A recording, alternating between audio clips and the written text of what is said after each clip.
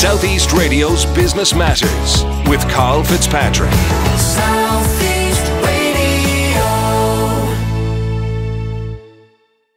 Welcome back to Southeast Radio's Business Matters with me, Karl Fitzpatrick. Well, Louise Duffy was a mainstay of the Today FM broadcasting schedule for eight years. However, following her departure from the national station last summer, Louise decided to follow a different career path as a consultant with the Communications Clinic. Louise, you're a Mayo woman living in Dublin, but you now also have a Wexford sporting connection.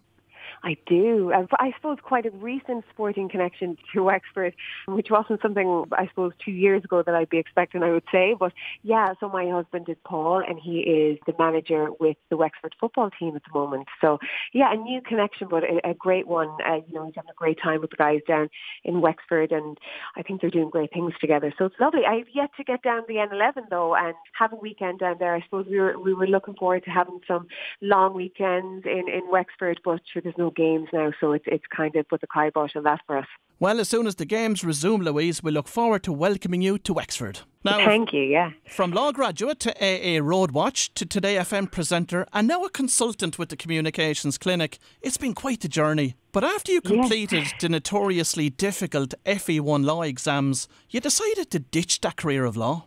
I did, I did. It's funny, isn't it? You know, I suppose you know, I, I advise people on careers all the, all, every day in terms of what I'm doing now at the communications clinic. But one thing I think is really important, and you know, it's something I learned from my own experience, is that you know you have to really go with your gut, and you have to do what feels right to you. You're going to be working for so long, you're going to be spending so many of your your precious hours you know, professionally and doing what you do for a living, uh, it has to be something that feels right to you. And I, I studied for the FE1 exams, and I was I was quite intent on on becoming a solicitor, but.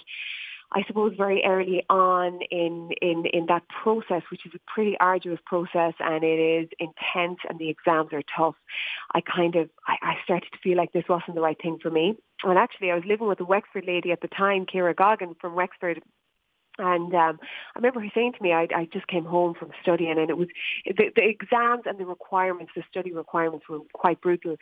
Um, but I had got the first four, and I thought I'll go and get the next ones. And actually, I think actually it was actually at the point where I'd got all eight, but I just didn't feel right about it, and I was starting that process of trying to find an apprenticeship.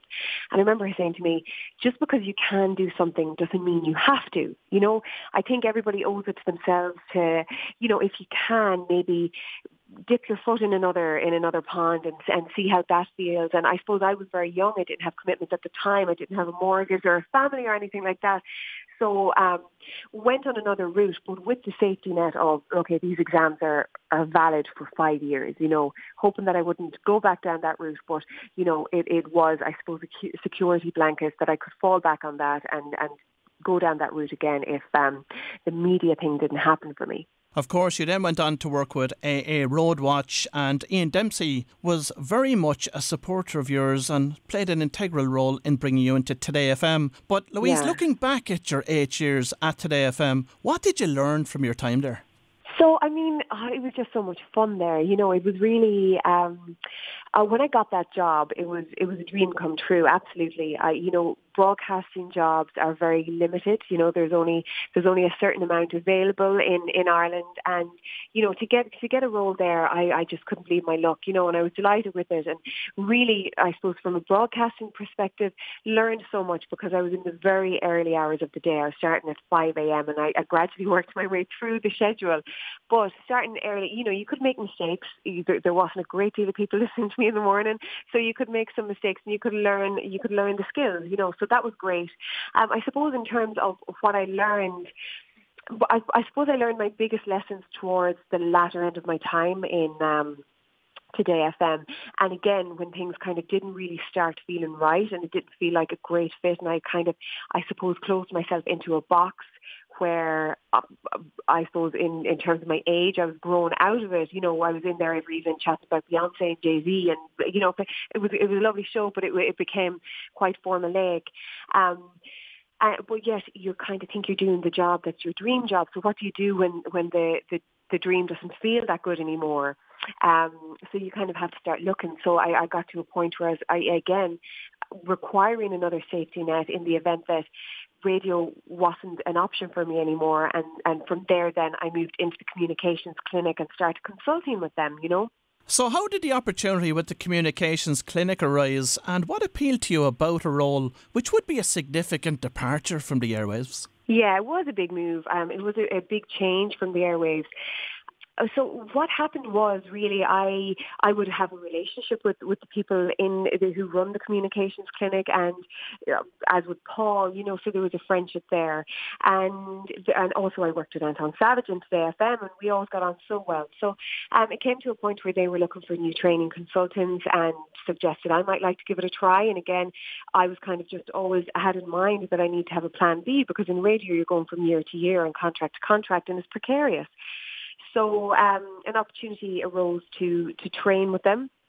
And from that first day that I said in front of, you know, the, some of the, the the veterans of training with Communication Clinic, I learned so much about my my approach to communication. As a radio presenter, you're you know, your propensity is to fill the air and you kind of think you have to keep talking. But listening is very important. And that's something I learned in the communications clinic. Listen to people, listen to what they're saying, listen to what they're not saying. Um, and from there, I started to train people and get results with people who would email and say, oh my God, I got the job and I'm delighted. And there was a real fulfillment in that. And it started to mean quite a lot to me, you know. Um, and it started to feel like I was doing something that had a lot of value, you know. So so that made the, the move a lot easier, and that, that kind of, I suppose, I started to go down that route a little bit more. So typically, Louise, what does your role as a training consultant entail? Okay, so I'm very much focused with uh, I'm very much focused on the careers element of the communications clinic. Now, the communications clinic do a great deal of other many things. Um, so, but I work I work with with clients on a daily basis um, who may have big interactions approaching in their in their professional lives, be that a presentation, be that a job interview, and it's quite often a job interview. It could be a negotiation with with a, a boss. It could be any form of communication that is a big one, that is um, a significant moment in their career. So people would come in, um, or when, when people could enter an office, but no, now we're doing everything via Zoom. But it's, it's exactly the same. It's exactly the same uh, process. We meet our client, we sit down, we talk about what it is they're concerned about, and it's a very experiential approach. We then put them through a mock interview or a mock presentation. We record that, we watch it back together, and we see what they're doing really well and what it is that we need to work on and restructure and uh, bring them through. So it has great value because almost immediately you can see the light bulb going off in somebody's head to say, okay, well, I shouldn't be doing that. Or like, I mean, I didn't say anything I wanted to say there, you know, so people really do. Um, there's great value in it. We also have a podcast, a brand new podcast arm of the business as well. We're we're, we're producing podcasts for um, some corporate clients, you know, in terms of their own internal communications or um, perhaps for for the, the the great big world, you know. So that's just another thing that we're we're offering at the moment. And Louise, from dealing with your own clients, what are the common mistakes that they make? I think that oh, it really does vary from, from client to client, but ultimately the, the key problem that I see on a daily basis is is is people failing to to really outline achievements. You know, I think that people uh, we have a very formulaic approach to um, an interview. We think we have to act a certain way, and we think we have to say things in a certain way.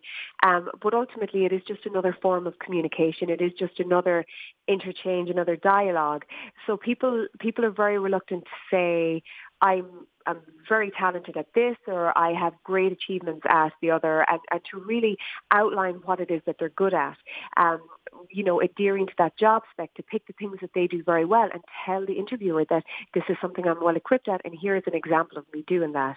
People really fail to um, to present evidence and instead speak generally. And then we're kind of not really saying anything if we're just speaking hypothetically and generally. You know, we need to present the evidence, and the evidence ought to be your achievements. I suppose that's similar to a CV where lots of people will have one standard CV that they send out yeah. for every job, no matter what the title or what the responsibilities with the job are. But instead, if yeah. they look at the detail within the job spec and they then tailor their CV to suit that, it's far more Absolutely. effective hundred percent, and that's something that we do as well. Actually, we do CV and application reviews. So, um, and and I think it's funny because um, our managing director Owen McDermott uh, mentioned there one day we were talking about that how it is vital to to tailor a CV to the job. To not do that is akin to, you know, throwing an engagement ring at somebody and saying, oh, listen, I tried to get that to another couple of women earlier, you know, previously, but they didn't take it, you know. So, you, you know, it's, it's almost, it, it, it, it's a lot more respectful to really speak to the person that, that, that is reading the CV, you know. That's a good metaphor, I have to say. Now, there probably is Yeah. a perception out there with listeners this morning that for those that are engaging with services like the communications clinic, that you have to be a senior executive, such as a CEO or a CTO or a financial controller. Is that actually the reality, though, Louise? Not at all, no. I mean, we see people from very young students right up to graduates, right up to CEO level, very high exec level. And, you know, we can tailor a package to, to suit you know, whoever it is. So you could have a graduate coming in and they've never done an interview before. So, you know, they, they need a specific kind of help. Or you could have a CEO who's wondering about the next move in their career and, and that would be a very different set of needs that they will have.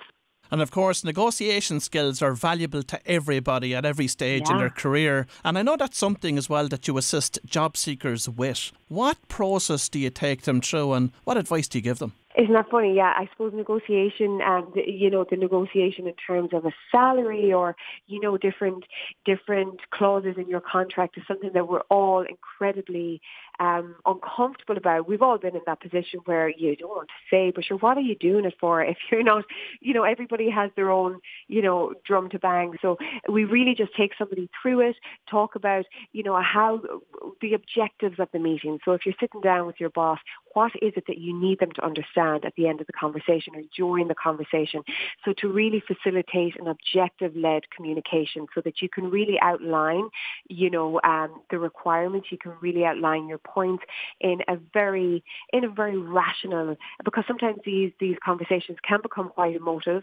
Um, nerves make things, you know, heighten all emotions. So it's about really talking people through it and training them to, to really approach it in an objective-led fashion.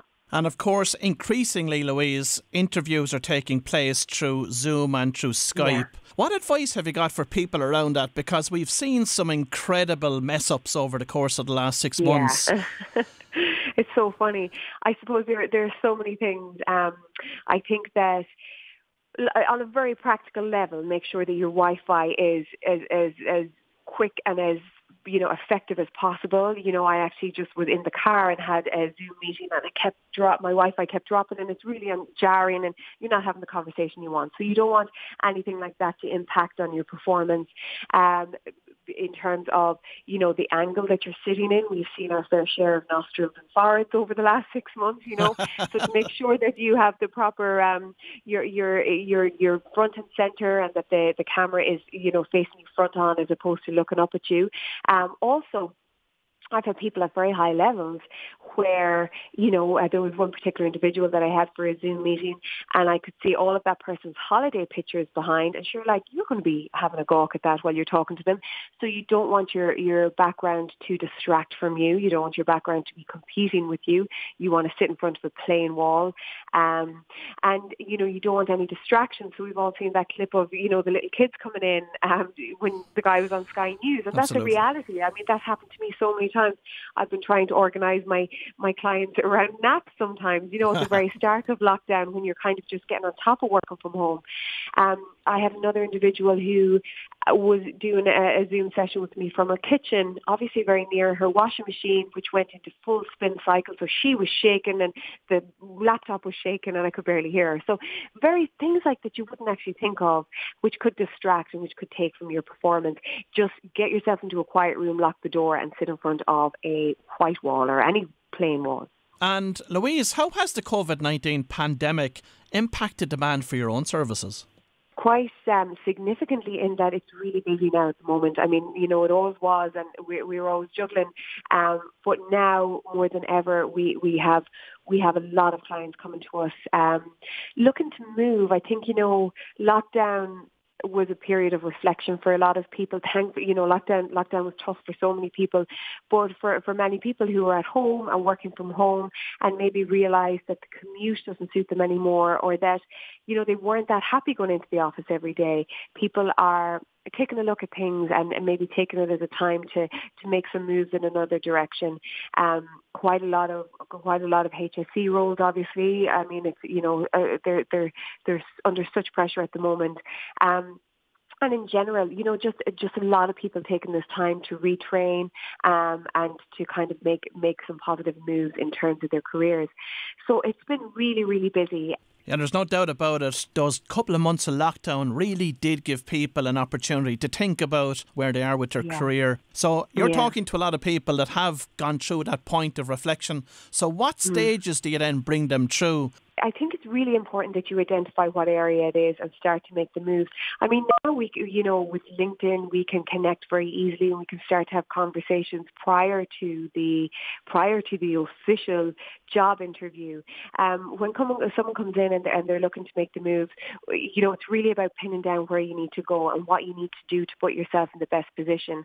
I think the person who's sitting in an interview who has put everything in place to make sure that they're the suitable person for that job, they've taken on the courses, if it's a leadership position, they've, you know, they, they, they've taken extra education to make them, you know, a better people manager, whatever it might be, project management or whatever it is that they have, you know, they, they have gathered the skills. You know, we, we're we're not just born with these skills.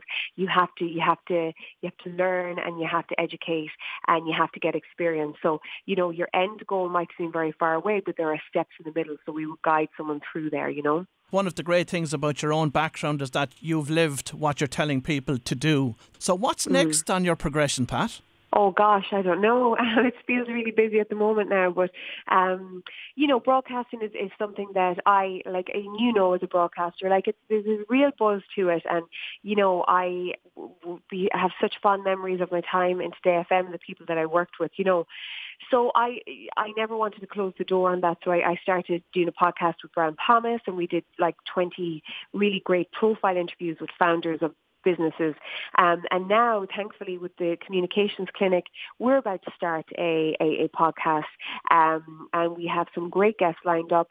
And it's really going to be a how-to of like, you know, the, the, the fundamentals that we teach people every day, be it, you know, um, impactful communication or active listening, uh, you know, getting your point across, whatever it is, speech writing, presentations. We're going to talk to a, a leader in that field. I'm going to talk to a leader in that field. So I, I'm, I feel quite lucky in that I can still, um, I can still you know, I, enjoy that side of broadcasting, albeit not live radio, which is which has has its own highs, absolutely, but but via podcast. So so that's the next thing really for us in the communications clinic and for me as well. You know.